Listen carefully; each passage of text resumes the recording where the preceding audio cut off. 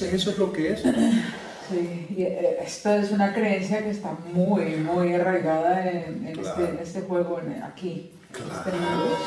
Y te lo encuentras, claro, te lo encuentras porque tú también estás metida, pero de cabeza en ello. Y, y sí, el tema del acelerador y el freno es buenísimo, porque está cual. Estás metida de cabeza en ello, pero ahora eres consciente. Entonces ya no estás metida de cabeza. Estás metida porque todavía estás teniendo la experiencia, Sí. pero el mero hecho de que puedes sacarla y puedes mirar, ahora ya tú estás preparada para salir. Y lo curioso del caso es que cuando tú empiezas a salir, cuando estás preparada para salir, todos aquellos que están completamente inconscientes van a tratar de, de echarte para acá. Pero no son ellos los que te están echando para acá, es tu propia duda todavía. Pero cuando ya tienes la certeza de que vas saliendo del agua, nada te arrastra, porque ya tú simplemente tienes clara hacia dónde vas, nada te puede arrastrar. Y lo paradójico es que para efectos de lenguaje dual, todos aquellos lo que estaban esperando era que tú les dieses el ejemplo para que ellos se atreviesen a salir. En ese sentido es que tú eres la luz del mundo. Entonces, lo que está pasando con tu pareja ahora mismo es que tu pareja está en la oscuridad. Tú eres esa luz, pero estás titubeando todavía. Todavía estás un poquito, pero tú sigues en, tú sostienes esa luz. Y según esa luz se sigue alimentando, no te sorprendas, y ahí te- aquí ten cuidado, porque no te estoy dando expectativas ni te estoy diciendo este, ilusiones, lo que te estoy diciendo es que, ¿quién sabe si cuando tu luz se ilumina, entonces esa persona está un poquito ya más preparada y entonces quizá tú te conviertes en aquella que le ayuda en el camino, pero ya no es con, el- con, con la intención de nada. Y según la acompaña en el camino, pues quién sabe si de buenas a primeras ya ella se siente lo suficientemente cómoda y la vida a propósito hizo eso para que tú sintieras eso de manera que tú pudieses sanarlo, de manera que ella pudiese ahora empezar a sanar eso y pueden caminar juntas de nuevo. ¿Entiendes? Así que es lo que hay. Sí, es lo que hay. Abierta, es que no hay otra. Porque a- aferrarte es sufrimiento. es que es tremendo porque es tan sencillo y cuando lo experimentas y te permites eh, Claro. probarlo y lo verificas, ojalá fuera permanente ese estado, que, o sea, esos, esos está. estados de, de- Ahí está la trampa. de certeza, ¿sabes? Bu- Bueno, el estado de certeza es permanente. Los sentimientos no. Ahí es donde hay que tener mucho cuidado, porque el ego cree que si yo de verdad vivo esta, esta experiencia, esta vida, nunca voy a tener dolor, todo va a ser placer. Ahí está la trampa. Pero cuando ya empiezas a vivir esto, esto empieza a ser más integrado, la certeza es permanente. La certeza es permanente. Se va la pareja, me duele mucho, pero tengo claro que esto está ocurriendo para bien. Eso mismo. Ese es el regalo. O sea que sí, la certeza se queda. Los sentimientos brincan y bajan. Eso es parte de la experiencia humana. Eso no lo podemos eso, eso no podemos hacer nada al respecto. Ese es el precio que se paga por querer ser un ser humano. Sí, eso es un ser humano en estado puro, ese, ese juego. ¿no? Eso es todo lo que somos. Estar entrando y saliendo y siendo cada vez más conscientes de cuánto es ¿no? de la correspondencia.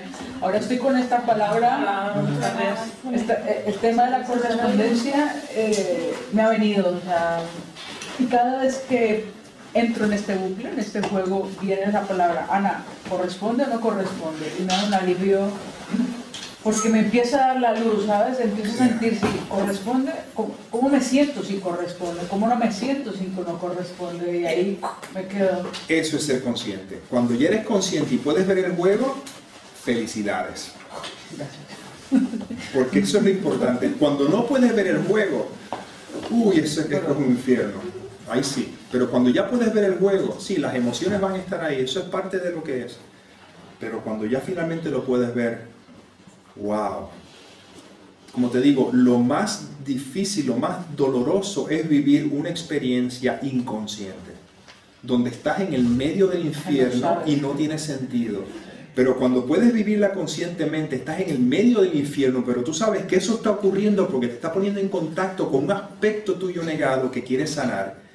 Y ahora tiene sentido. Ahora puedes darle la bienvenida a eso que aunque se experimenta doloroso, en realidad es simplemente algo, es, una parte de ti que dice, quiero que me prestes atención, me has, negado toda tu vida, quiero liberarme, quiero ser, quiero, quiero, quiero ser libre para poder sentir ese amor que soy.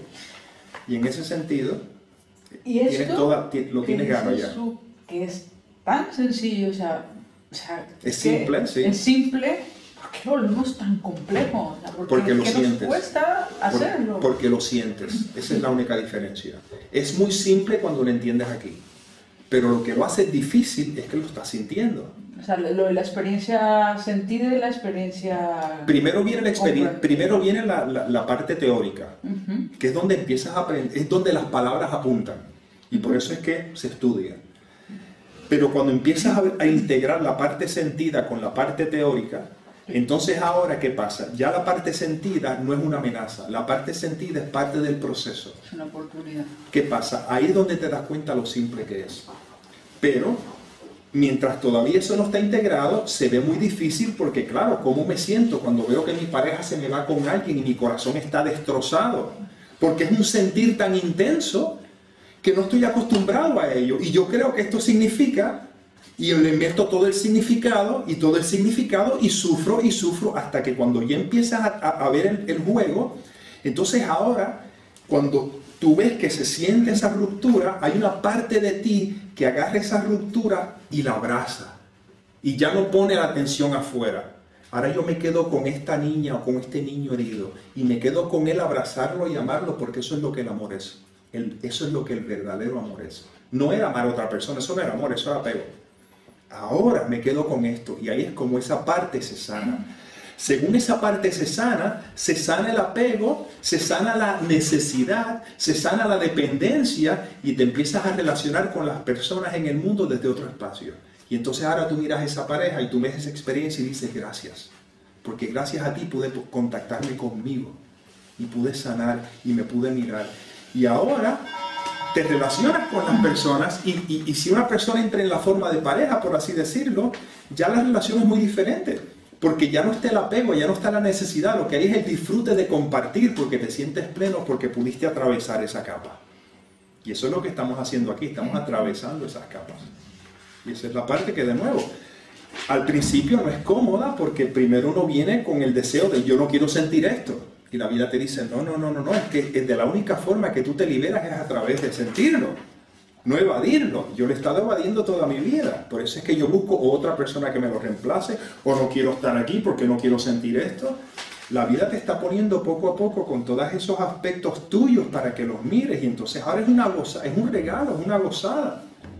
Porque ahora cuando tú cuando empiezas a mirar la vida desde ese espacio, todo es un regalo. porque entonces le das la bienvenida porque te estás poniendo en contacto con tus aspectos sentidos negados. Y ya no tiene nada que ver con la historia. Es simplemente esto, yo estoy aquí para sentir y estás sintiendo, sintiendo. Y al principio sí, al principio es como que déjame respirar hasta que finalmente te, te sientes cómoda sintiendo. Y entonces, wow, entonces la vida es un juego